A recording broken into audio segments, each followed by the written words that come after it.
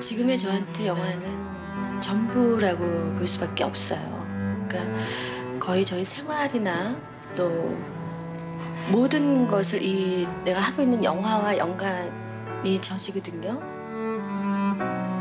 누구보다도 연기에 진심이었고 또 사랑했고 평생을 영화와 함께해온 천생 배우. 그리운 그녀를 기억하고 추억하며 준비했습니다. 길고도 짧았던 하지만 매 순간 찬란했던 고 강소연 씨의 반세기 연기 인생을 오늘 함께 떠올려 봅니다. 저 정말 길거리 캐스팅이에요. 집 앞에 골목에서 친구들하고 놀고 있는데 예. 어떤 아저씨가 와가지고 너 엄마 어딨니? 이래가지고 우리 집에 나 이렇게 손잡고 데리고 가서 그때 나이 고작 네살이었던 꼬마 아이는 그렇게 우연히 배우의 길을 걷게 되는데요.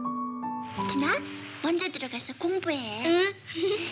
오목조목한 이목구비, 매력적인 보조개, 연기 실력까지 갖춘 그녀는 당시 몇 안 되는 아역 배우로 활약했고 선생님, 울지 마세요.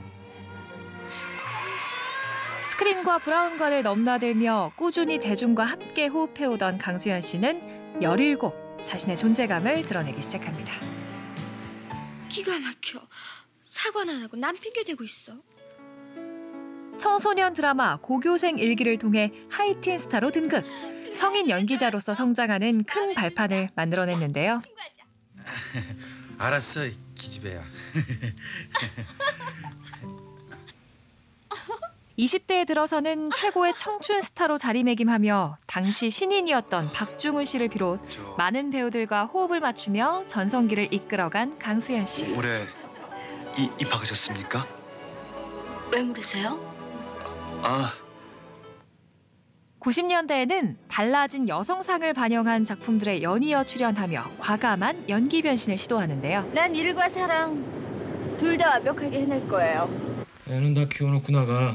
좋아. 나도 말 좀 하자. 너도 니네 교수한테 가서 얘기해봐라. 애 다 키워놓고 10년 후쯤 다시 공부하겠습니다. 그렇게. 너 지금 그걸 말이라고 하는 거냐? 말 안 되지. 너한테 말 안 되는 게 왜 나한테 말이 돼야 되니? 난 아이, 가정, 내일 모두 다 중요해. 그러니까 네가 좀 도와줘야지. 따지지 마 좀. 그 결과 한국 영화사 최초로 억대 출연료 시대를 열며 최고의 전성기를 누린 강수연 씨. 그런 그녀가 빛난 또 한 곳 바로 시상식이었는데요. 어, 상이라는 거는 받을수록 더 가슴 벅차고 기쁘고 떨리고 그런 것 같아요. 근데 음, 물론 제가 열심히 하겠지만요. 앞으로 정말로 열심히 최선을 다하는 것만 남아 있는 것 같아요. 연기력은 물론 인기, 작품 보는 눈까지 탁월했던 그녀는 백상예술대상, 대종상, 청룡영화상 등 그야말로 국내 시상식을 휩쓸었고 축하합니다. 감사합니다. 아 지금 기분은요 너무너무 좋아요. 굉장히 굉장히 기분이 좋아요. 뿐만 아니라 한국 영화계의 한 획을 그은 작품 영화 시바지로 세계적인 명성을 떨치기 시작하는데요.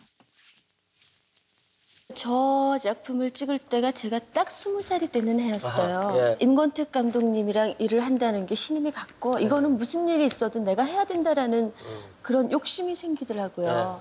배드 신을 처음으로 연기한 영화가 시바지라는 작품이었어요. 잘해야 된다는 욕심에 겁없이 했죠. 정말. 세계 3대 영화제인 베니스 국제영화제에서 당시 한국 영화 60년 사상 최초로 최우수 여우주연상 수상이라는 새 역사를 써낸 강수연 씨. 우선 안녕하세요. 수상을 축하합니다. 이번 영화제 왜 가장 기대했죠? 개인적으로는 무척 가고 싶은 곳이고요. 참석해보고 싶었지만 또 새로이 만나야 될 작품들이 있기 때문에 이 상에 대한 책임이 굉장히 겁나고 그래요. 강수연 양 다시 한번 축하합니다. 감사합니다. 그리고 2년 뒤 임권택 감독과 재회한 영화에서 고뇌하는 여승을 연기하며 삭발 투혼을 발휘한 결과 모스크바 국제영화제에서 또 한 번 여우주연상을 수상하며 한국 영화계가 낳은 첫 월드스타로 우뚝 서게 됩니다.